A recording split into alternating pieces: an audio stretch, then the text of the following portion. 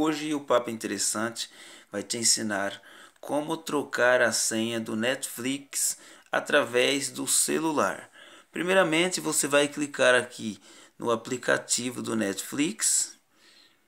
Clicou nele, você vai no seu usuário principal. Você vai vir aqui, ó.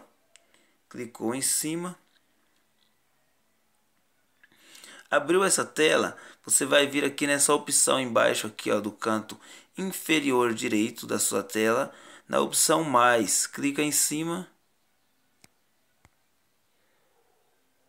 Após clicar em cima, você vai arrastar para cima e você vai na opção conta, que está logo aqui embaixo aqui, ó. Clicou em conta. E aí vai abrir uma outra tela para você. E após isso, você vai vir na opção alterar senha.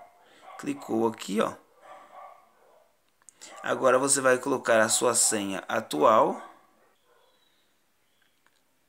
E aí, após colocar a senha atual, você vai colocar a nova senha.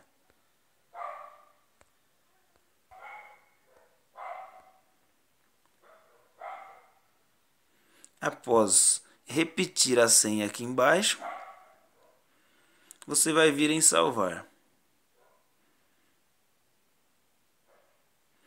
E após salvar, a sua senha já estará atualizada.